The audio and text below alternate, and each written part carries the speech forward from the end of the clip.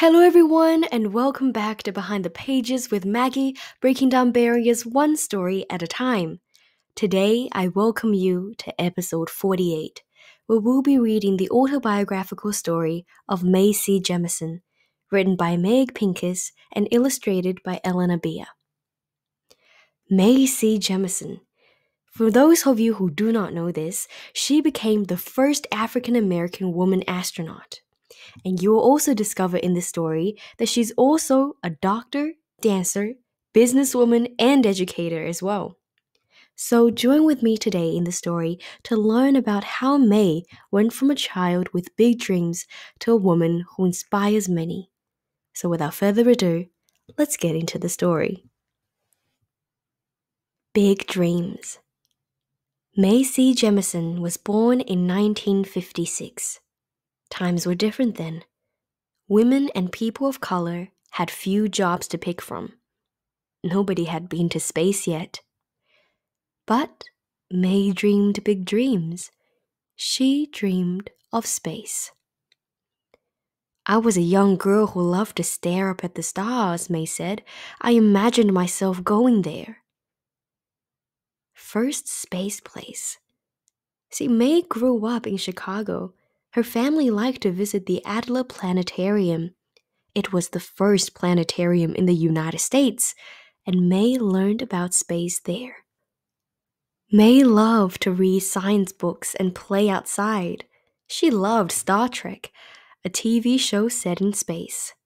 She also loved to dance and make art. Her parents loved her curiosity.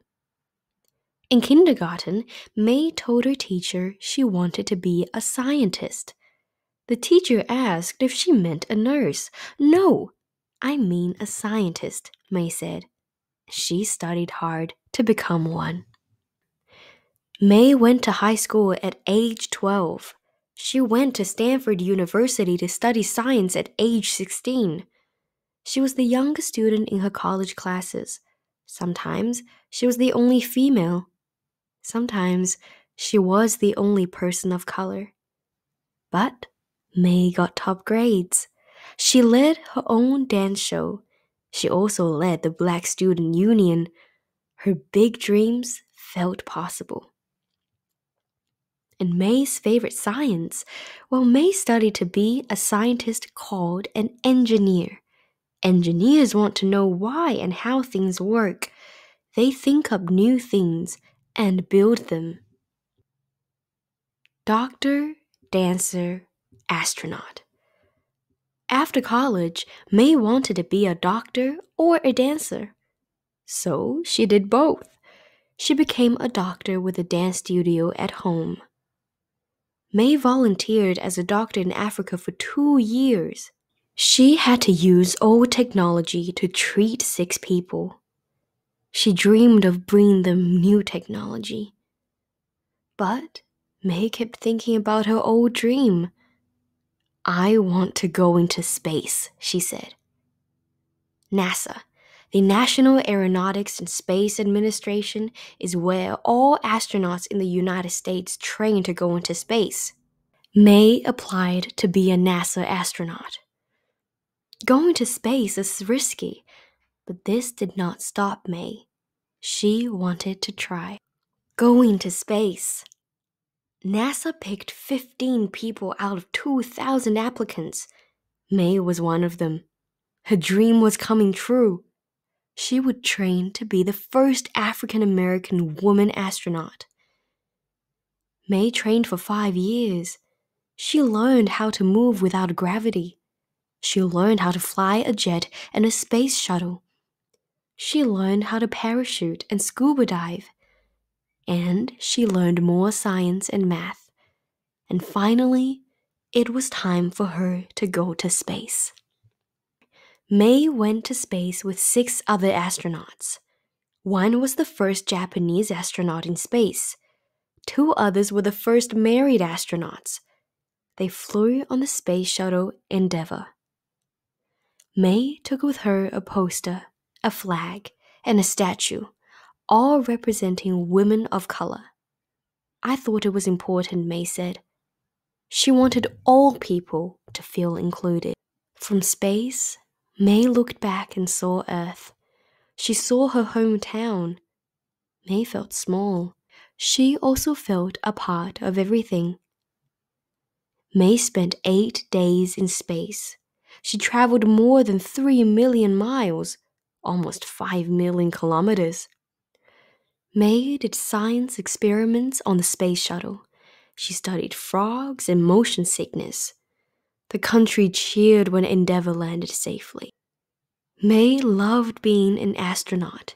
She got to be the first real astronaut to appear on Star Trek. People were surprised when she left NASA, but Mae wanted to follow a dream that began when she was a doctor in Africa. She started a company to bring technology to places in need. Mae also wanted to inspire young people. She began helping teachers and students learn science in new ways. She wrote four science books for kids. She also became a college professor. In 2012, Mae applied to NASA again. She wanted to join a project called a Hundred Year Starship. NASA picked Mae to lead it. She was excited. Her team studies how to travel to distant stars within a hundred years. And Mae still dreams big dreams. She inspires big dreams in others too. Well, that is the end of the story. But before we end, I have something new to introduce to the future episodes of this podcast. I would like to add a list of glossary of words that some of us may not be very familiar with as I read the stories. So here I present to you a list of the glossary of some words in the story that we can learn the definitions of. To begin with, we have applied the past tense of the word apply, which means to ask for officially. For instance, in a sentence, I can say, Mae applied for the job of an astronaut at NASA. Our next word is engineer. Engineer is a noun, which means someone who is trained to design and build things. The third word we're going to learn today is experiment, which means tests to try out how things work. For instance, we can say, scientists like Mae conduct experiments to see how things work. Gravity, the force that pulls things toward the center of Earth and keeps them from floating away.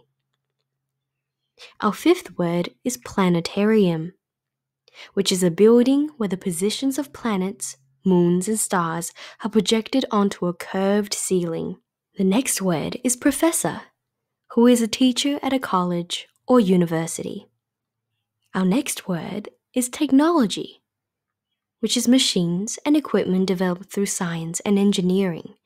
For instance, the phones that we use is a technology.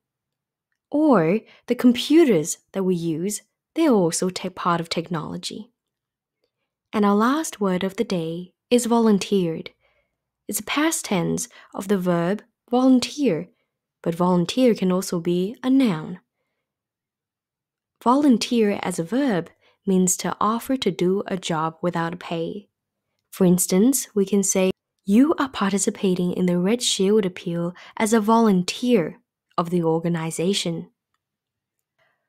Well, that is the end of the episode this week.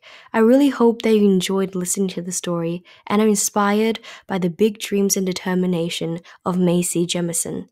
Thank you very much for joining with me here today for episode 48 of Behind the Pages with Maggie, breaking down barriers one story at a time.